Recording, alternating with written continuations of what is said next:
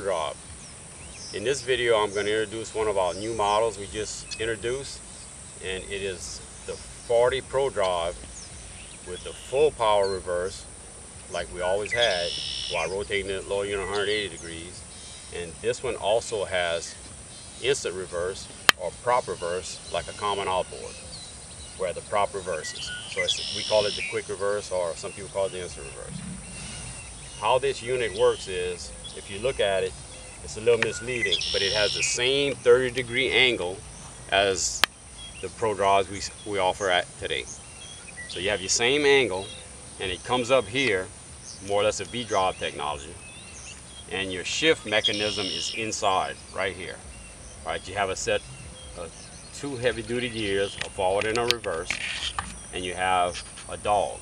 All right, right now, and you still have a clutch. So right now, this lower unit is locked in the forward. It's spring loaded to forward. So it stays spring loaded to forward at all times. Your clutch is your neutral. All right, so right, let's say you're in neutral. All right, when you want to go to forward, whether it's a tiller handle where you shift, shift it with a lever or on a console, when you shift it into forward, the clutch engages and you go forward. When you come back, put your lever in neutral where your clutch kicks out. You're still in forward. When you shift it in reverse, the first thing that's going to happen is this solenoid is, is uh, going to engage. What it is, is, is commonly used on uh, diesel equipment to kill the engine. When you turn the key off, the solenoid engages, presses a rod, and kills the engine. This does the same thing. So in other words, when you're going to put the lever in reverse, the first thing that's going to happen is this is going to engage and push the dog into the reverse gear. A half a second later, there's a delay in the clutch. A half a second later, the clutch is going to engage. Then you go, then it goes into reverse. So in other words, you have a half a second delay to let this thing locate the dog into the reverse gear. When you go back to neutral, the clutch kicks out, this releases power, locks back into forward. Most people know how full power reverse works on our current model, and I'm just going to demonstrate right here how easily you still have the full power reverse on this model. You simply press a button,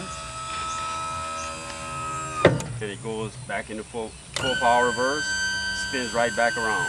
This is for when you're in those rough situations and you need you need the full power reverse that a prop reverse can't give you.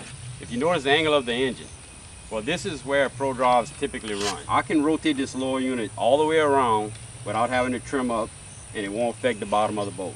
So you still have all your, your features and the strength of your full drive reverse, your full power reverse, without having to do any, any trimming up or down. And again, you can stop this lower unit wherever you want. In this position, you can still shift prop reverse. So in other words, I can put this thing in forward or I can put it in, in reverse and reverse the prop. So I can clear some stuff out the prop in the full power reverse position. So I can still shift this lower unit like a regular outboard in the reverse position.